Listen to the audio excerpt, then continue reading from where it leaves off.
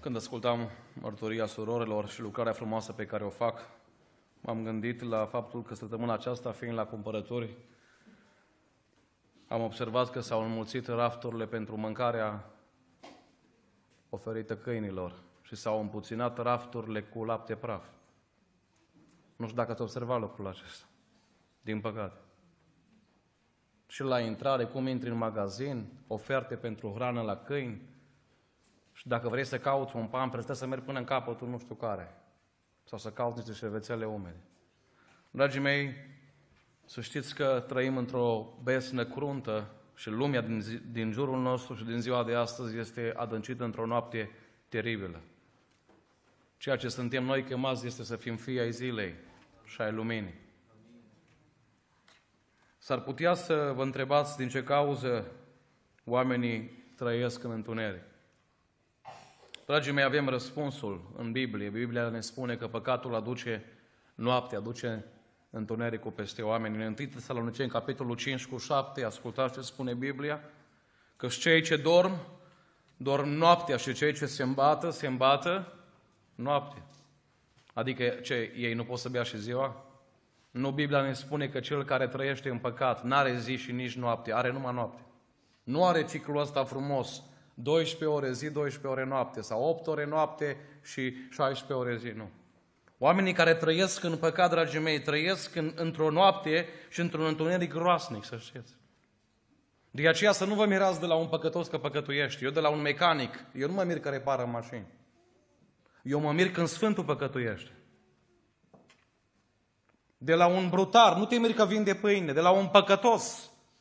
Niciodată când stați de vorbă cu păcătoși și să nu spuneți, așa ceva ai făcut, oameni buni. A, a, ei, voi vă mirați de ceva care pentru el nu e o mirare.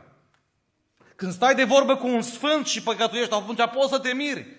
Dar un om care trăiește în besna de lângă noi și care e cufundat în mocirlă, să știți, dragii mei, comul acela are o noapte teribilă peste el zilnic. Problema este că poți să vii la mântuire, poți să vii la pocăință și să vii cu, cu, cu besna după tine. Pentru că în 1 Ioan 2 cu 11, ă, fratele Paul amintea ceva și m-a întrebat fratele Paul, iar ce o să predici? Și am spus, nu știu. Mai trebuie să stau în rugăciune, mai trebuie să, să văd, să, să primesc de la Domnul ceva. Și fără să vorbim, ne-am legat de același verset. Dar cine urăște pe fratele său este în, în întuneric, umblă în întuneric și nu știe încotro merge, pentru că întunericul i-a orbit ochii. Dragii mei, să nu porți ochelare, iertați-mi, da, comparația asta, n-ai nevoie de ochelare.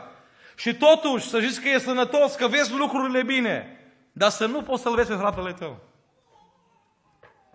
Dragii mei, eu nu mă mir de omul care trăiește în întuneric că doarme, să știți. Am observat oameni care nu, la care nu le era somn, dar pentru că au stat într-o cameră unde era stins becul, după jumătate de oră, oră a dormit. Nu te mirți de păcătos că păcătuiește, nu te mirți de omul care, care vorbește aiurea că e bazucoritor, nu. La fel, nu te mirți de omul care stă în întuneric că la un moment dat doarme. Există riscul să venim la adunare, dragii mei. Și totuși, să, după ani de zile, să umblăm în întuneric. 1 Ioan, capitolul 1 cu 6. Ascultați, o categorie de oameni care spun așa. Am părtășie cu Domnul. 1 Ioan 1 cu 6, te rog să afișez. Dacă zicem că avem părtășie cu El, aici nu e vorba de din biert. Nu. Oameni care spun am fost la biserică joi, marți, duminică, dar dacă zicem că avem părtășie cu El și umblăm în întuneric, mințim și nu trăim adevărul. Doamne, păzește-ne de asta. Dragii mei, vreau să duc un mesaj înainte dumneavoastră și răspunsul la care vreau să răspund, să răspund, întrebarea la care vreau să răspund, pentru că Biblia, să știți, este singura care, carte care are răspuns la orice întrebare. Pentru că nu există întrebare care să, la care Iisus Hristos să nu știe să răspundă, să știți. Și întrebarea la care vreau să răspund cu ajutorul Bibliei, cu ajutorul Duhului Sfânt este următoarea. Cum te poți trezi din noaptea vieții tale? Frate Cristi, dar nu e evangelizare în seara asta, știu. Numai că am observat oameni. Am luat mărturisiri de la mame care au făcut avort. Am luat mărturisiri de la tineri botezați. Am luat mărturisiri și luăm mărturisiri ca și slujitori de la oameni care spun că au încheiat un legământ, cum spunea fratele Paul aici. Și totuși trăiesc o besnă o noapte și n-aș vrea să ne prinde pe careva, dragii mei, sunetul trâmbiței cu noaptea lângă noi. De aceea vreau să vă spun astăzi că, în primul rând, poți fi trezit din noaptea vieții tale de către o persoană anume. Fapte, capitolul 26, te rog să afișez, cu versetul 15, uitați ce frumos spune Pavel aici. Cine ești, Doamne? Am răspuns eu. Și Domnul a zis, eu sunt Isus pe care îl prigonești. Mă opresc să vă spun că Pavel credea că face un lucru bun și sunt oameni care cred că fac un lucru bun și totuși, uitați, era pe contrasens cu Dumnezeu. Dar scoală-te și stai în picioare că și m-am arătat ție. Dar cu ce scop te-ai arătat, Doamne? Ca să te pun slujitor și martor, martor atât al lucrurilor pe care le-ai văzut, cât și al lucrurilor pe care mă vei vedea făcându-le. Te-am ales din mijlocul norodului acestuia la, ă, și din mijlocul neamurilor la care te trimit. De ce? Ascultați ce frumos! Ca să le deschizi ochii, să se întoarcă de la întuneric la lumină și de sub puterea satanei la Dumnezeu și să primească prin credința în mine iertarea de păcate și moștenirea împreună cu cei sfinți. Doamne, mai ridică oameni din așa. Dragii mei, mi-aduc aminte că eram copil și mama intra în cameră la ora 7 dimineața să ne trezească, să mergem la școală. Credeți-mă, uram lucrul acesta în fiecare dimineață. Știți ce binecuvântat suntem astăzi că am avut mame care ne-au trezit? Nu numai să mergem la școală, ne-au trezit și din alte lucruri. Citați. Dar de multe ori s-ar putea când vine cineva să te trezească prin cuvântul Domnului. Uitați-vă ce vremuri grele trăim astăzi. Dacă vorbești în șoaptă la învon, spune că n-ai har. Dacă strigi, spune că ești gălăgios. Dacă n-ai lacrimi, spune că nu ești spiritual. Dacă ai lacrimi la învon astăzi, spune că ești sentimental. Uitați-vă, dragii mei, că parcă suntem incomodați. Parcă astăzi am vrea numai să, așa, să, să placă urechilor, să, să fim treziți, dar cumva numai așa cu degetul să fim mângâiați cumva. Nu. Când cineva te trezește, ascultă-mă ce spun astăzi, cu cât somnul e mai groasnic, cu cât somnul e mai mare, cu atât persoana aceea trebuie să tragă de tine mai tare. Dar mulțumește Domnului că mai sunt astfel de persoane. Dragii mei, suntem astăzi în biserică, suntem astăzi pe calea mântuirii, pentru că am avut persoane lângă noi care ne-au trezit la cuvântul Domnului. Mergeam într-o direcție greșită, mergeam înspre prăpastie. Dar un om al lui Dumnezeu, trimis de Dumnezeu, îmi spunea cineva, frate Cristi, eram în sală și nu știa omul așa despre mine nimica, dar toată predica au fost pentru mine. Ce binecuvântați suntem să mai avem oameni care să ne trezească. Dar și merge un pic mai adânc. N-ai vrea după ce ai fost trezit să fii omul care trezește pe alții? Doamne ajută-ne la asta. Uitați-vă la Iona. Au fost trimis la Ninive. Oamenii aceștia erau într-o besnă foarte mare. Nu știau să deosebească stânga de dreapta, spune Biblia. 120.000 de oameni analfabeți. Oameni care, ă, din punct de vedere social, material, spiritual, erau foarte jos. În afară de vitele lor, să zică care e cal și care e vacă, nu știau nimic altceva. Dar în momentul când vine Iona la ei și îi trezește prin cuvântul lui Dumnezeu, dragii mei, ce îmi place la oamenii aceștia, nu zic, auzi, numărul la alt proroc, nu aveți. Că prorocul ăsta a fost un pic cam dur. Cea mai scurtă predică din Biblie e predica lui Iona. Cea mai dură predică din Biblie e predica lui Iona, oameni buni. Iona nu a zis, dacă vă pocăiți, sunteți mântuiți. Nu. Iona a zis, încă 40 de zile și vine nimicirea peste voi. Dar oamenii ăștia vreau să vă spun că înțeleg ceva. Că Dumnezeul nostru, înainte să pedepsească, întotdeauna avertizează. Aș vrea și copiii să fie convinți și mama să plece cu copilul în spate la mama și copilul dacă copilul deranjează. Vrem să ascultăm în liniște predică. Oamenii din Ninive, dragii mei, vreau să vă spun că au înțeles că Dumnezeu nostru este un Dumnezeu plin de speranță.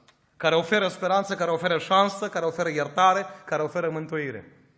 Știți care e vestea bună care vreau să vă duc astăzi? Pentru că ninivenii l-au crezut pe Dumnezeu pe cuvânt. Ascultați-mă, încă 150 de ani ori mai avut pace și liniște. Pentru că Dumnezeul nostru, dragii mei, e un Dumnezeu care vrea să ne trezească. Doamne lucrează și astăzi.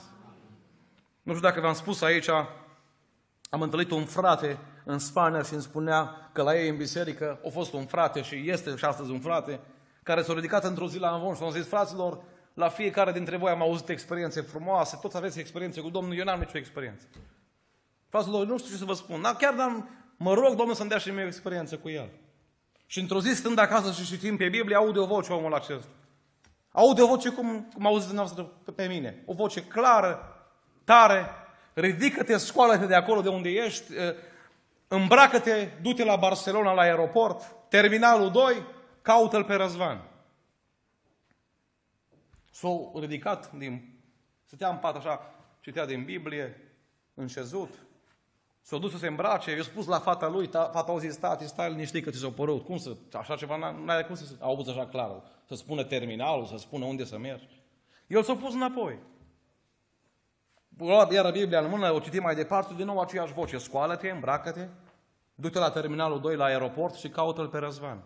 A doua oară nu mai a întrebat-o pe fată nimica, o mers, o îmbrăcat, o mers la aeroport și pe drum se gândea, Doamne, cum o să deosebesc eu, care sunt aici persoanele cum îl caut eu pe Răzvan? Dragii mei, personal vreau să vă spun că am verificat mărturia asta chiar fizic. Pentru că am fost acolo, la Barcelona, în aeroport, la terminalul 2. Exact ce mi s-a descris, exact aia am văzut. Undeva este o scară sus în stânga, pe unde sunt ieșirile. Și omul ăsta zis, am ajuns în fața scării. Am mers sus, pe scară, și în fața mea era o mulțime de oameni care stăteau la control, la pașapoarte. Și am zis, Doamne, acum, în timp ce urcam pe scară, cum îl găsesc eu pe, Răz, pe Răzvan? Între sute de oameni. Dragii mei, am o veste bună să vă spun. Cel care ne trimite, ne și călăuzește. Să știți. El nu spune numai plecați că rămân acasă. Nu, eu vin cu voi. Eu vin cu voi. Și au zis fratele, ă, erau două persoane. Unul îmbrăcat cu cravată, costum frumos. Vorbea în limba franceză cu un tânăr. Un tânăr tatuat, un tânăr din lume.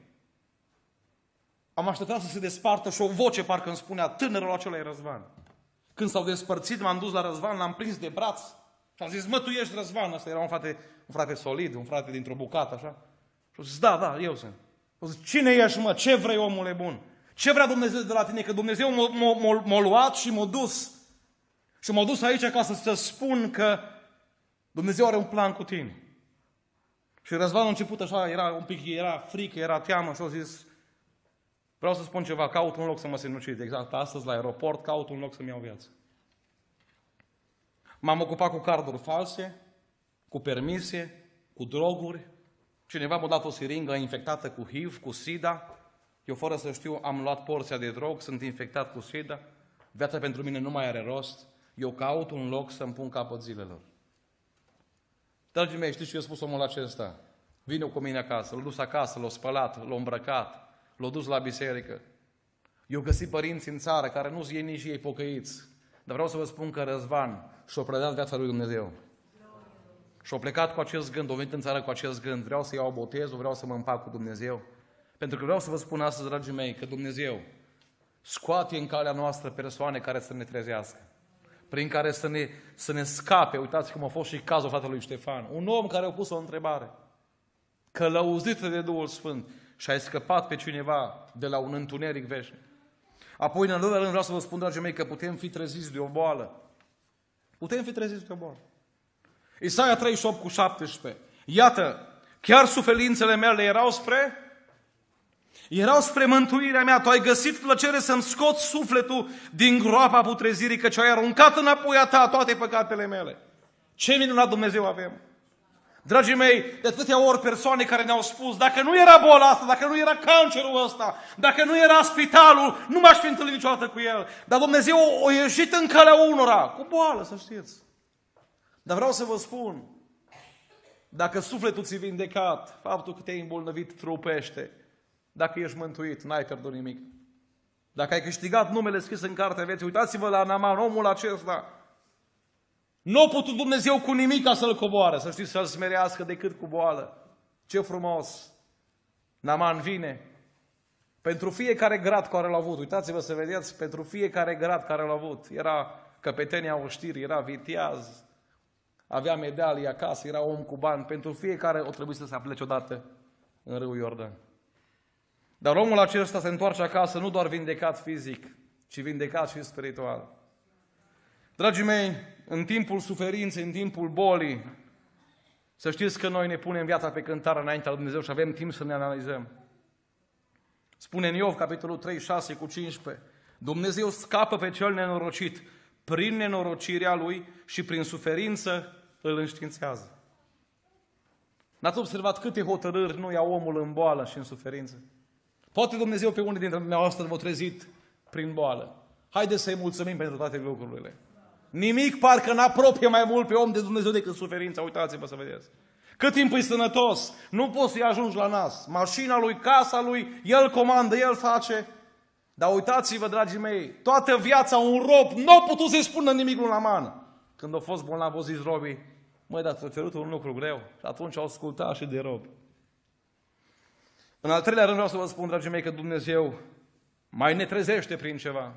Din noaptea vieții în care suntem, Dumnezeu ne trezește prin lipsuri, să știți. Merge fiul risipitor de acasă plin de bani, încărcat, cu pormoneu, pormoneu gros. Tata era supărat în spate. M-am tot gândit de ce a fost tata supărat. Știți de ce a fost tata supărat? Pentru că tata știa, pe tot pământul ăsta nu există un loc mai fericit și mai bun pentru copilul meu ca acasă. Nu există. Există un alt loc Dragii mei, vreau să vă întreb, în afară de brațele Domnului există un alt loc mai frumos? Nu există.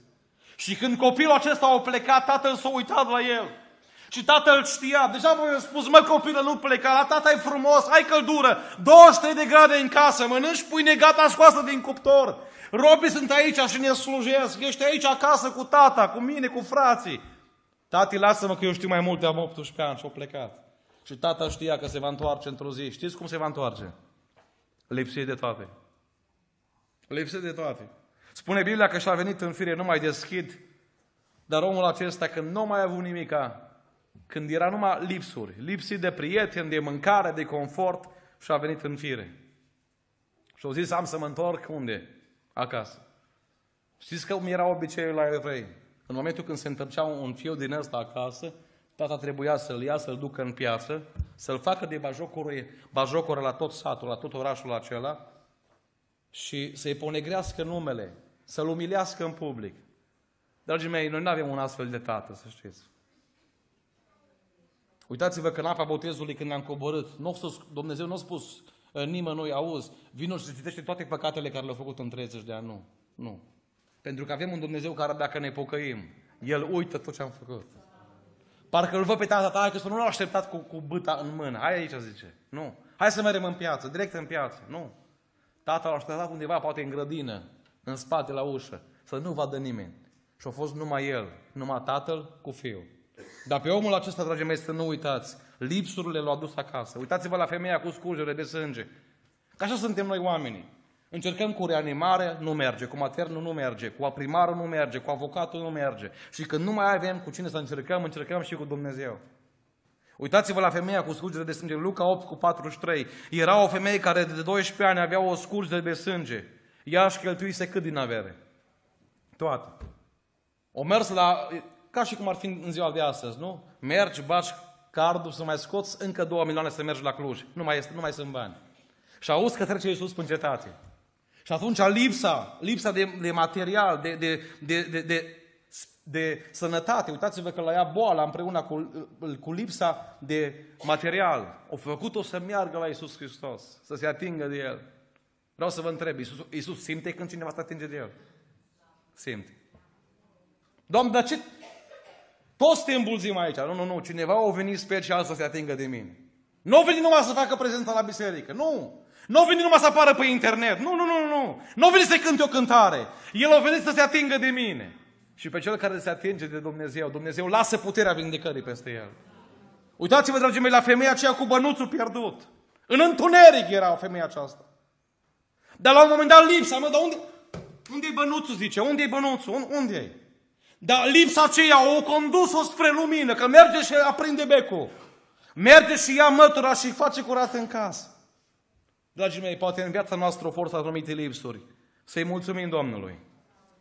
Pentru că poate lipsurile alea ne-au trezit. Biblia spune orice dar bun și desăvârșit vine de la Tatăl Luminilor. Numai că nu toți care primesc ploaie, care primesc soare, recunosc asta. Și uneori Dumnezeu trebuie să oprească ploaia, soarea, recolta, pensia, sănătatea, să ajungi în lipsă ca să recunoști că tot ce ai avut și tot ce ai sunt datorită Lui. Domnul fie lăudat. Apoi putem fi treziți de întristare, să știți. 2 Corinteni 7 cu 11. Uite, tocmai întristarea aceasta a voastră, ce frământare a, a trezit în voi. Și ce cuvinte de dezvinovățire, ce mânie, ce frică, ce dorință aprinsă, ce râfnă, ce pediapsă, în toate voi ați arăta că sunteți curat, curați în privința aceasta. Poate ai auzit o veste tristă, nu? Ai auzit că cineva din neamul tău are a avut un accident. Știi că vestea aceea tristă, dacă stai cu sinceritate înaintea Domnului, s-ar putea pe tine să te apropii de Dumnezeu? Și să spui, Doamne, cum de n-am avut eu accident? Nu cumva, o zis Domnul, faptul că sunteți în viață nu înseamnă că sunteți mai buni ca aia care au murit. E numai harul Lui și bunătatea Lui care ne îndeamnă la pocăință. Poate ai auzit că cineva la o vârstă trage de murit și copilul tău e cu tine. Dragii mei, n-ar trebui să trezească asta noi. Să ne sculăm din moleșală, să ne sculăm dintr-o apatie din asta atât de, de contagioasă în care trăim și să spunem, Doamne, să mulțumesc că mie mai dat sănătate, mi-ai păzit copiii. Și asta să fie spre apropiere de Domnul. Sunt lucruri triste, să știți. Era Elisabeta, spune Biblia despre ea, Luca 1 cu 36, îi se zicea stearpă. Când merea Elisabeta la biserică, îi spuneau, spuneau frate despre ea, stearpă, a venit stearpă la biserică. Și femeia aceasta, dragii mei, din potrivă, în loc să zică, auzi, Zaharie, du-te tu, fă slujba, eu stau acasă. Eu nu mă mai duc. Nu. Din potrivă, faptul că alții o bat jocoreau, pe ea au apropiat mai mult de Domnul. În ciuda bat jocurilor, au mers la templu, făcea slujbă, soțul ei slujea, se rugau împreună. Au fost uniți, pentru că uneori, dragii mei, tristețea, uneori bat jocuri altora, ne unește pe noi, să știți. Ne ține mai strânși de Dumnezeu. Apoi putem fi treziți de o veste bună. Isaia 9, capitolul 1, până la versetul 3. Spune Biblia peste poporul care zăcea în întuneric. Vine o mare o mare lumină. Dar care era lumina aceea? Prin ce venea lumina? Printr-un far de la mașină? Nu. Căci un copil ni s-a născut. Un fiu ni s-a dat. Și oamenii aceștia au auzit o veste extraordinară. Dragii mei, spune Biblia acolo în Isaia 9 cu 3 că i-a cuprins o mare bucurie. O mare bucurie. Eu n-am văzut om bucuros în timp ce doarme. Nu? Nu, bucuria te cuprinde când te trezești. Când te trezești. Ești plin de bucurie. Observând ce e în jur, observând mila care ți-a arătat Domnul, încep să te bucuri. Auzind vestea asta bună a Evangheliei. Nu? Doar oamenii care au trăit în besnă, ei își dau seama ce har mare îi să vezi, să, să vezi lumină. Am avut ocazia să ascult pe internet un video în care copilașii care nu au auzit toată viața, pe la 3, 4, 5, 6 ani, la fiecare, mai mulți copii au fost luați acolo, li s-a pus pentru prima dată un aparat auditiv, dragii mei. Vreau să vă spun că oamenii, copiii aceștia, așa mirați, așa plini de bucurie, pentru că au auzit pentru prima dată. Noi ar trebui să fim mai bucuroși că am auzit vocea Lui, am auzit cuvântul Lui. Nu? Uitați-vă că trăim într-o lume care așteaptă vești bune. Oamenii se uită mereu toată ziua la televizor, la știri. Mă, nu se mai ieftinește gazul, nu se mai ieftinește curentul, nu se mai ieftinește, a, le ieftinesc alimentele. Nu asta e vestea bună. Și dacă asta ar ieftini, dar nu se ieftinesc. Nu asta e vestea bună. Vestea bună este că pentru toate păcatele care le-am făcut, Iisus Hristos a murit pentru noi. Nu? Vineam cu cineva, vineam și vorbeam în telefon în timp ce veneam spre biserică și vorbeam despre mormântul Domnului de la Ierusalim. Și, dragii mei, vreau să vă spun că mulți cred în, într-un mormânt gol, dar puțini simt în fiecare zi și trăiesc cu Dumnezeu viu. Noi suntem chemați în fiecare zi să trăim cu Dumnezeu. N-ai vrea asta? Vreau să vă spun în a doua parte a mesajului ce fac oamenii treji. Bun, m-am trezit, acum sunt treaz, ce fac? Oamenii treji, în primul rând, spunea Paul aici, ascultați și-o spus Iacov, recunosc prezența Domnului în dreptul lor. Genesa 28 cu 16, te rog să pui. Iacov s-a trezit din somn și a zis, cu adevărat Domnul este în locul acesta și eu n-am? Dar de ce n-ai știut? Păi pentru că dormeai. O visat frumos Iacov noapte. Dragii mei, nu e suficient să avem vise frumoase cu Dumnezeu. Spuneam recent la o conferință cu tinerii și Samson a avut, a avut pe WhatsApp prorocii o grămadă, cum avem și noi. Nu? Vorbesc în termeni din ziua de astăzi. Am prorocii, că o să fiu cel mai tare judecător. Dragii mei, faptul că am avut prorocii, că am avut mesaje și am ascultat predici, nu ne ajută cu nimic dacă noi astăzi nu recunoaștem că Dumnezeu vrea să ne treacă de la vis la realitate. Nu doar să visezi că este o scară de la cer la pământ. Să simți în inima ta cum coboară Domnul în, în, înăuntru tău și te veghează în fiecare zi. Și te călăuzește în fiecare zi, nu? Oamenii treci, apoi vreau să vă spun că luptă. Ioel 3 cu 9. Vestiți aceste lucruri printre neamuri. Pregătiți războiul. Ascultați acum. Treziți pe vitej să se apropie și să se suie toți oamenii de război. Pentru că O înțeles aici prorocul ceva foarte frumos. Că nu e suficient să fii treaz. Tu trebuie să lupți. Când auzi că vine războiul, trebuie să lupți. Uitați-vă, dragii mei, ce luptă. Ce lupte purtăm în fiecare zi. Ești provocat la mânie, ești provocat la bârfă, ești provocat la bajocură, ești provocat să-ți dai cu părerea în toate. Și tu trebuie să lupți și să spui, Doamne, eu vreau din cuvintele mele să fie numai miere pe buzele mele, nu? Numai că nu poate fi grefuit în interior și portocală pe buze. N-ai cum. N-ai cum. Nu. Dacă te, te ocupi cu mierea, va fi, pe buzele tale va fi miere. Dacă toată ziua ești cu ProTV-ul, cu știre de la ora 5, cu crimă, cu avorturi, cu ce mai făcut ăla și ăla, n-are cum să fie miere. Nu? Dragii mei, îmi doresc, Domnul, să ne să luptăm. Să luptăm împotriva duhurilor întunericului, să luptăm împotriva păcatului. Ca să fim într-o zi numiți biruitori. Doamne, ajută-ne la asta. Oamenii treji, vreau să vă spun că slujesc. Nu? Oamenii treji slujesc. Hagai 1 cu 14. Domnul a trezit, auziți, a trezit Duhul lui Zorobabel. Și Duhul întregii rămășiți a poporului. Și ăștia ce-o zis dacă îți treci? Hai dăm drumul la un film, nu? Nu! Dacă te-ai trezit spiritual, te uiți în jur, ce poți să fac? Sunt mame care vor să facă avort, ies în întâmpinarea lor și le opresc prin cuvântul Domnului. Este un sărac care are nevoie de un sandwich, mă duc și dau un sandwich. Este cineva care, poate o familie cu 10 copii cu casa în construcție. E ușor să te rogi pentru ei. Biblia ne spune ceva mai, mai profund. Să mergem și să cercetăm pe orfani și pe văduve în necaz. Nu doar să ne rugăm pentru ei. Ascultați, așa că ei au venit și s-au pus pe lucru în casa Domnului. Apoi vreau să vă spun, dragii mei, că oamenii treci mai fac ceva. Oamenii treci și roagă. Iisus Hristos era în Ghețiman, era treaz, se ruga. Ăștia trei dormeau. Și vine Iisus Hristos la cei trei și întreabă, un ceas n-ați putut să vă rugați, să vegheați împreună cu mine? Se roagă, oamenii trei se roagă. Dragii mei, la fel cum avem nevoie în fiecare zi de mâncare, nu? Și de apă, nu? Și de aer. Noi avem nevoie în fiecare zi de rugăciune. Rugăciunea e respirația sufletului. Ai nevoie de mâncare, nu? Iisus pâinea vieții, dar ai nevoie și de apă. Iisus apa vieții. Poți să te verifici astăzi, sunt treaz. O trecut o zi din viața mea în care n-am început cu Biblia, ai grijă că ești la un pas să adormi. Ești la un pas. Nu? Omul care trăiește cu Dumnezeu, să știți că se roagă. Se roagă pentru alții, se roagă pentru sine, se roagă pentru lucrarea Domnului. Nu mai știu dacă v-am spus aici această acea experiență care am ascultat-o la un frate pastor, fratele Robert, un frate pastor din America, un om al lui Dumnezeu. Omul acesta mărturisește și spune despre tatăl lui și despre bunicul lui. În urmă cu vreo aproximativ 40, 40 ceva de ani, bunicul lui, bunicul lui Robert, avea un, un coleg de muncă pocăit. El nu era pocăit. Pe nume Alexandru. Omul acesta, Alexandru, avea un singur scop în viață, să spun la alții despre Dumnezeu. Să duc și pe alții împreună cu mine în rai. Și avea acest obicei. Lua un om de la servici care părea mai interesant, mergea cu el undeva la un restaurant, undeva unde putea găsi un pic de loc liber, îi plătea masa, numai ca să aibă motiv să stea de vorbe cu el. Bunicul lui Robert o luat și pe copilul lui, pe tatăl lui Robert, care atunci era un tânăr, un adolescent, un tânăr. Și o să hai cu mine că nu știu care e pocăit, vrea să-mi spun, nu știu, hai să mergem să mâncăm o mâncare gratis, zice. Că oamenii se uită numai la, de multe ori la profeți.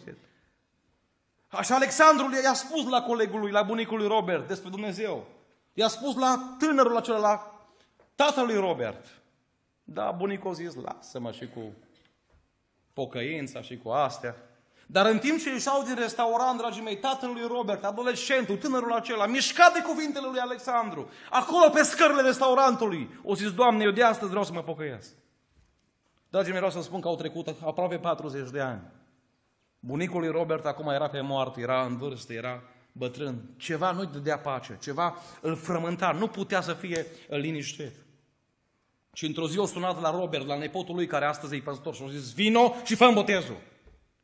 Robert a rămas încremenit, dar cum să-ți fac botezul? Buniculeț, ți-am zis de zeci de ori, ți-a spus o grămadă, cum să... În urmă cu peste 40 de ani, aproape 40 de ani, colegul meu Alexandru mi-a spus niște cuvinte. Ceva mă frământă, ceva nu-mi de pace, vreau să mă pocăiesc. O mers, a făcut botezul și Robert a zis, bunicule, mai știi cum îl chem? Alexandru și mai cum? Și eu spus cum îl chema. O mers acasă, au căutat prin mai multe agende. Cum a putut? O găsit numărul de telefon. O sună la telefon și au zis, fratele Alexandru și o voce în chat o zis da, un om bătrân astăzi. O zis da, eu sunt. Fratele Alexandru zice, ați avut un coleg pe bunicul meu și i-a spus cum îl chema. Fratele Alexandru, vreau să vă dau o veste bună. Bunicul meu la care i-a spus, acum 40 de ani, pe Dumnezeu, s-a pocăit. Și Alexandru a zis, așteptam telefonul ăsta. Cum? Cum adică așteptai? De 40 de ani să un telefon? Zice, da, așteptam telefonul ăsta. Eu am spus la foarte mulți oameni despre Dumnezeu. Pe cei care s-au împotrivit cu cuvântul lui Dumnezeu, i-am scris pe ultima pagină din Biblie. De 40 de ani, zice, mă, mă rog pentru toți. De fiecare dată când cineva dintre ăștia care i-am scris, peste 100 de persoane se convertește și primesc telefon și îmi spune că s-a convertit, fac un semn. Singurul la care a rămas un semn nefăcut e bunicul tău. De 40 de ani, singurul la care așteptam telefonul ca să pot muri liniștit, e bunicul tău. Dragii mei, am stat și m-am întrebat, nu e suficient să, vii trea, să fii treaz și să vii să consumi programe la biserică. Nu. Eu dacă am un om care muncește la mine, nu să mă ajute la casă, să... faptul că vine și mănâncă la mine, nu mi, nu mi suficient. Bun, îți dau masă, dar după asta ce urmează? Muncă, zice. Hai să lucrăm, nu? Dragii mei, oamenii care se întregi, slujesc, se roagă, veghează. Tu ce spune cântarea? Să ne trezim, frați și surori. De multe ori se pare că e prea veche. Iar cântarea asta. Mă gândeam astăzi la cântarea asta. Ori cântat-o nu niște oameni care dormeau, o cântat-o niște oameni care erau treji. O cântat-o înaintașii noștri, bunicii noștri, străbunicii noștri. Oameni care atunci când mereau la sapă nu întrebau, auzi, ce-o mai zis Dragnea? Auzi, dar cât a făcut Barcelona cu Real Madrid? Nu. Oamenii când, care, bunicii noștri, care atunci când mereau la sapă și se întâlneau cu cei din sat, spuneau, Dumnezeu să te binecuvânteze. Oameni care toată ziua, nu numai că erau cu cuvântul Domnului în gură, erau cu cuvântul Domnului în inimă și trăiau cu Dumnezeu. N-ai vrea astăzi să spui, Doamne, vreau să mă trezesc și eu. Dormi sau ești treaz? Ești în lumină sau în întuneric? Închei spunându-vă că au fost oameni care au murit în somn. Veți spune, frate Cristi, dar ce ai tu cu mine dacă dorm? Ascultă-mă, într-o zi, somnul ăsta va aduce moartea. Acasă puteți citi despre Boșet, care a fost ucis în somn.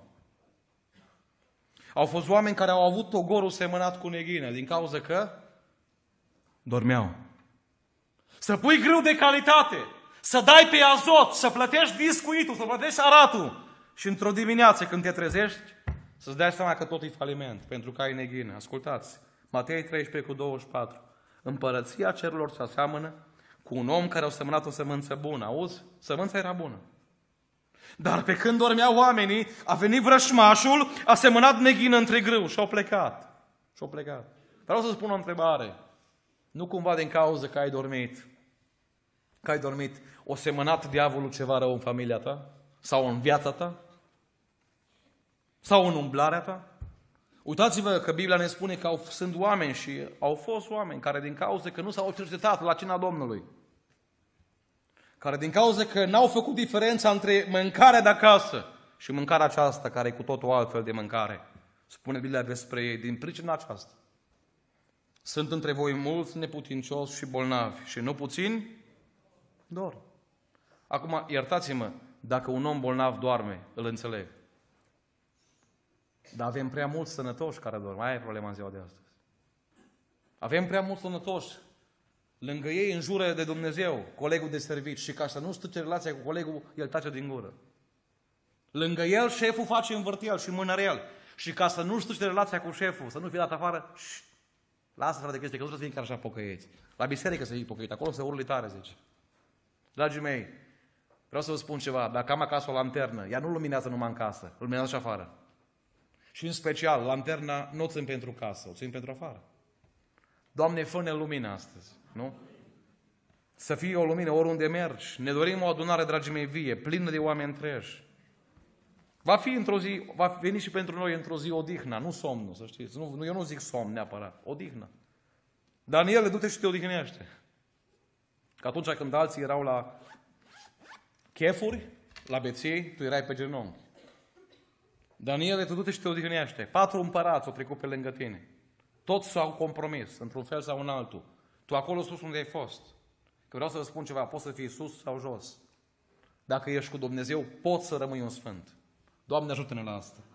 N-ați vrea astăzi, dragii mei, să facem o rugăciune și să spunem, Doamne, trezește-ne și pe noi? Nu știu prin ce. Printr-o persoană? Printr-o boală? Prin lipsă? Nu știu. Printr-o veste bună? Nu știu. Dar mă rog Dumnezeu, prin orice mijloc, să nu ne lasă să țipim, dragii mei. Să nu ne lasă, uitați-vă când omul ațipește, nu? Dacă ar ști stăpânul casei la ce oră vine hoțul sau când vine hoțul, ar veghea. Dar au zis, mă, nu, acum când vine, lasă, trag un somn. Și vine diavolul și zia valorile mari. Și valorile mari nu, nu sunt telefoanele, să știți. Valorile mari sunt lacrimile la rugăciune. Părtășia cu Domnul. Sensibilitatea aia că ai spus un cuvânt ne la locul lui și te mustră conștiința. Aia e valoare, frate și surori. Doamne, mai lasă peste noi veghere. Uitați-vă și cu asta închei. Au fost oameni care au murit în somn. Au fost oameni care au murit intoxicați cu monoxid de carbon. Ar fi dat orice să-i trezească cineva. Nu i-o trezit nimeni. Și au plecat din viața asta. Și poate unii dintre ei nu au plecat pregătiți. N-ai vrea astăzi să fii omul care să zici, Doamne, trezește-mă. Dar nu mă trezi ca să fac clasamente. Cine predică mai bine, cine cântă mai tare. Nu. Avem destul din ăștia. Doamne, eu vreau să fiu un om triaz, care să slujesc, nu? Care să mă hrănesc, dar apoi să merg să slujesc. Care să luminesc, care să mă rog, care să veghez. Și într-o zi, dragii mei, să știți că Dumnezeu nu ne va clasifica la pentecostal, baptiști, carismatici, ortodoxi. Îi va lua pe cei treji care au stat în veghere, care au, au luminat și cu orice preț au trăit pentru El și va duce sus, în rai, unde ne vom odihni, dar nu cu ochii închiși. Ne vom odihni văzând fața Lui și o veșnicie întreagă îi vom mulțumi că ne-a vorbit, ne-a trezit mintea sănătoasă. Auzi, minte sănătoasă care poate să doarmă, da? Prin înștiințări, printr-un cuvânt. Dar Domnul nu ne lăsa să dormim. În acest sens, dragii mei, ne ridicăm în picioare, ne rugăm și la urmă mulțumim și în toate Domnul să fie lăudat. Amin.